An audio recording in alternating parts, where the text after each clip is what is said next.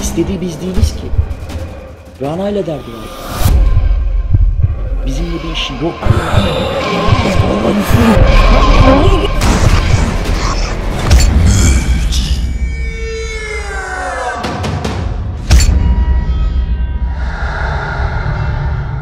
Düne kadar yaşadıklarımın bir halüsinasyon olduğunu düşünüyordum. Ama artık hepimiz biliyoruz.